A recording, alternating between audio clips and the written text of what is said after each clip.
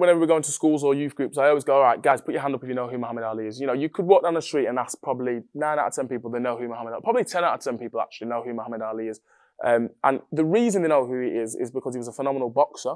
He was a character, but also the things he did outside the sport. He transcended the sport of boxing. And that's exactly what Len Johnson did. So we had our very own Muhammad Ali here in Manchester.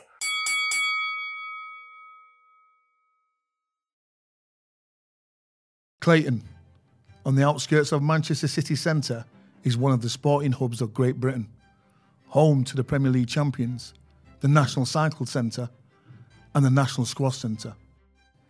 In the early 1900s, Clayton was very different, an area that was very much on the brink of poverty. But it was here that a true sporting legend was born, one who would rise to become one of the greatest boxers of his day. You may not know much about him. He may not have had the same fame as some modern sporting heroes, but for the best part of two decades, Len Johnson was a fighter that was loved by boxing fans feared by opponents, and shunned by those in power because of the colour of his skin. Well, Len was one of four children brought up in the Bradford area of Manchester, where Manchester City's ground now stands. He received an elementary education and had to leave school early, as lots of children did in those days. And his father wanted Len to go into boxing. And I think the reason probably was to, to do with learning to defend himself. Len's father pushed Len into, into a fight and he went into professional boxing this way. So Len got into boxing really through, uh, through his father. After a spell which saw Johnson struggle to truly stand out, his victories eventually began to pile up as he rose through the ranks to become one of the most feared fighters in the country, racking up victory after victory against top level boxers. Manchester had a new hero. People packed the streets to see him off before his fights. Newspapers praised him. Locals loved him. Yet, the establishment continued to ignore him. Tough champions such as Len Harvey, Roland Todd, and Ted Kid Lewis, once described by Mike Tyson as one of the greatest boxers of all time, were defeated by Johnson on his way to a record of over 90 professional wins. Len discovered that being a, a coloured man in Britain's white society of the time meant he couldn't go any further. He could get big matches, but he couldn't get a title fight. Boxing at that time was controlled by the National Sporting Club in London.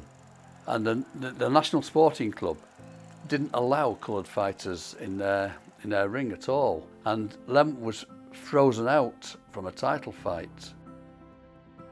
Going back to 1911, before Len's time, Jack Johnson, the world heavyweight boxing champion, came to Britain.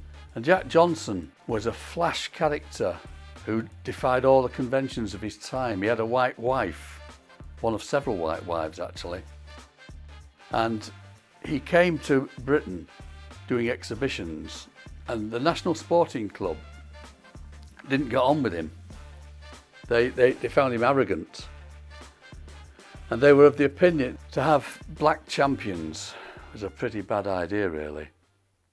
And that it was they who, uh, who instituted a ban on coloured fighters fighting for titles yeah, so I vividly remember it. It was in the height of the Black Lives Matter movement in 2020, and I got sent this article in a WhatsApp group, and I'm not the strongest of reader, but I remember just being glued to the screen reading this article. Um, it was in the Tribune magazine, and I just remember being absolutely gobsmacked that I'd never heard of this amazing story. And I've grown up in boxing gym since I was eight, nine years old.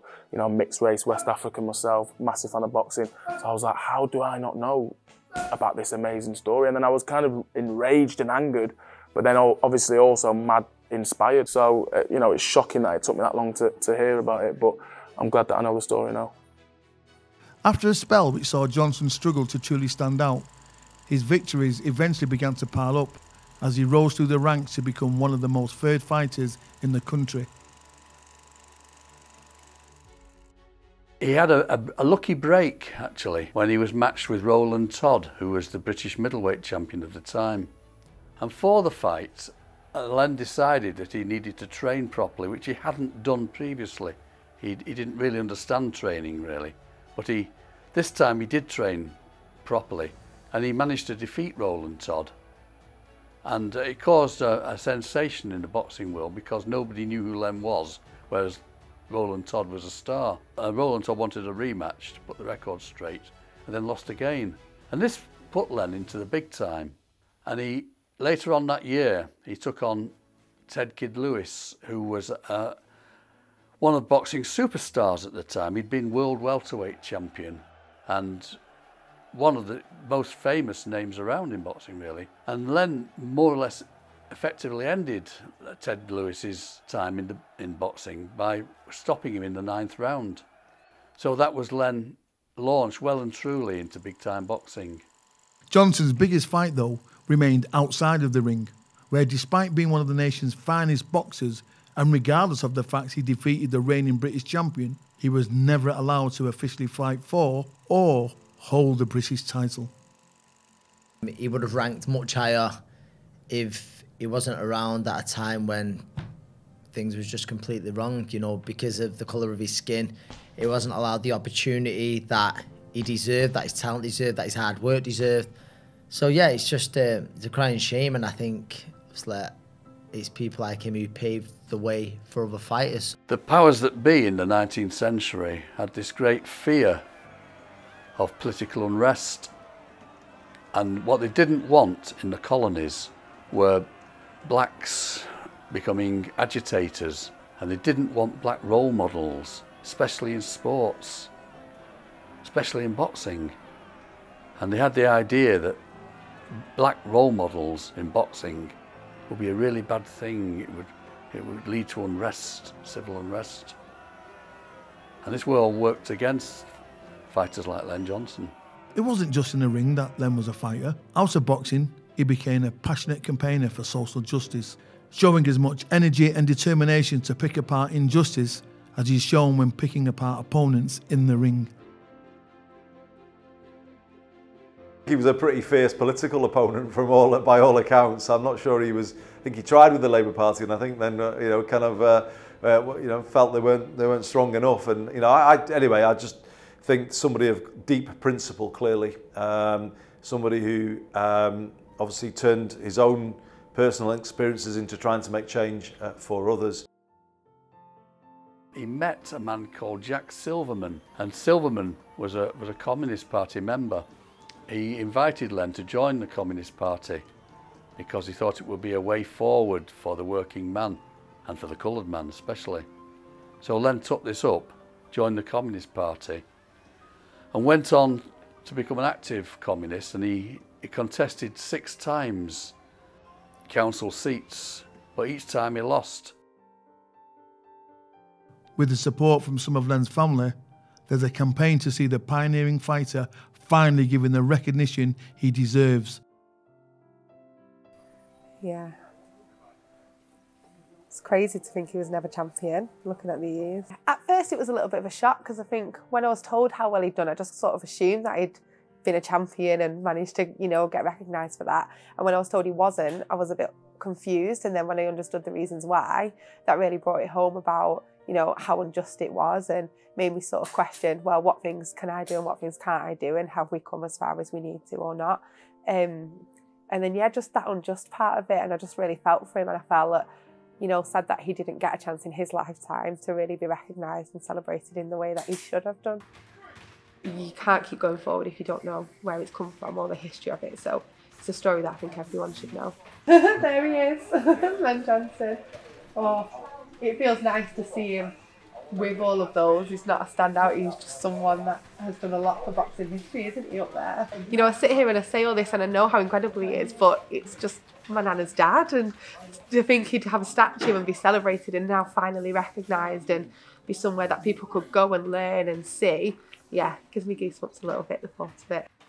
It's not just with a statue that young people can learn more about one of Manchester's greatest athletes. More and more schools and youth groups are inviting speakers to spread Len's story. We had our very own Muhammad Ali here in Manchester with a much better record than Muhammad Ali, to, to, if we're being real. 90 plus wins, it's unbelievable. So yeah, I always go, put your hand up if you know who Muhammad Ali is, and they all put their hand up. And then I say, okay, now put your hand up if you know who Len Johnson is, and obviously when we deliver it for the first time, no one has a clue who he is. Um, but now that you know we're starting to shift the balance and, and go and tell kids, you know, I'm confident if we went to a few schools and went, do you know who Len Johnson is? Oh yeah, I remember. We, I put we saw play on him a few few months back or a few terms ago. So yeah, that's that. You know, that kind of shows the the scale of how unknown how unknown the story is really. Well, because he wasn't a champion and he hadn't fought for British or European or world titles, you, you can't find Len Johnson's name easily in boxing record books. He just isn't there. And it's a, it's a crying shame, really.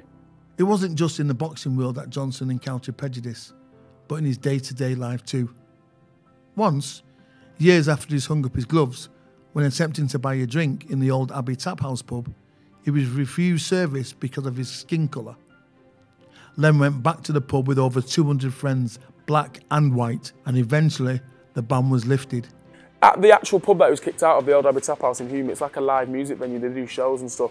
And every October for the last three years, they've done a drink every October to celebrate Len. And it's like some of his family and friends go, and people who know the story go, and a few kind of activists go. And it's always quite a small, low key thing. And in October last year, we had one, and it was amazing. We had a drink and we had a party, it was great. And there was a few councillors there and stuff.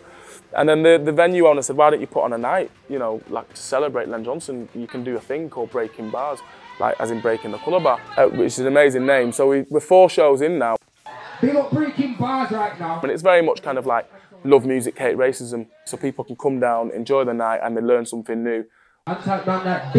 The very pub that he was kicked out of. And it's, you know, you look at the crowd, it's diverse and it's multicultural and everyone's just having a great time and partying. And it's kind of, music's a very, and art, full stop, is a very good way to kind of um, touch on certain topics in a very non-radical way. So we can have a party and just mention, by the way, we're here to celebrate the life and legacy of Len Johnson. Got support from our cultural lead, uh, who's the deputy leader.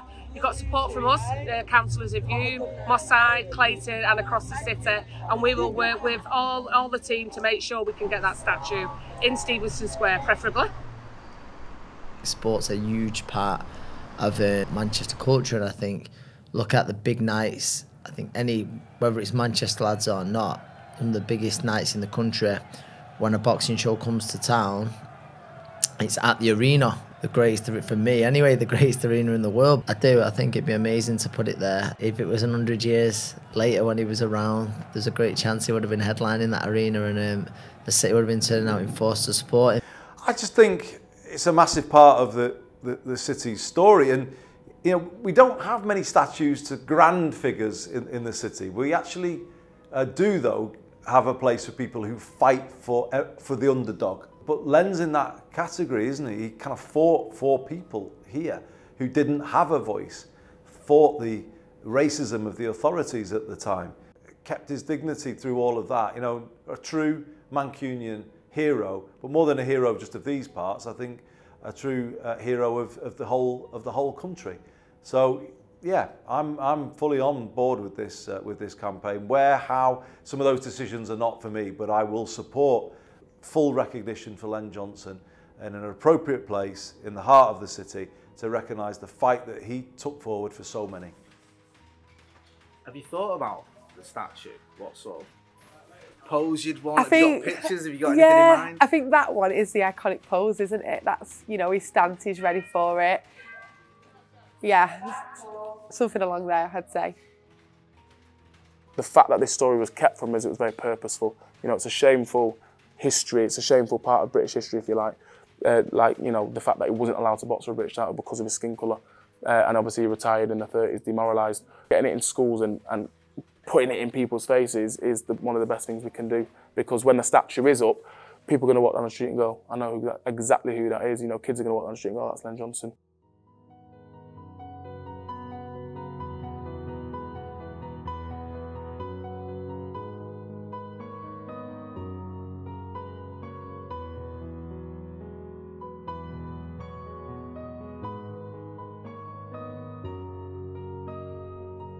Both parents had to be white in order for him to fight. Fight for a belt that was his right. Clayton, coloured, colour bar, area, what he was, what he was up against. 135 fights, 96 wins, 37 knockouts, something big to shout about. Welterweight, middleweight, light heavy, and heavyweight. He won them all. He wouldn't wait. Politics, Labour, the Communist Party too. Paul Robeson helped him make their breakthrough. Breaking the stick, stick of pain, stopping his rightful gain, paving the way for it not to happen again. You think you know boxing, but do you know this name? Never let it not emit from your lips again. Len Johnson, Len Johnson, Len Johnson.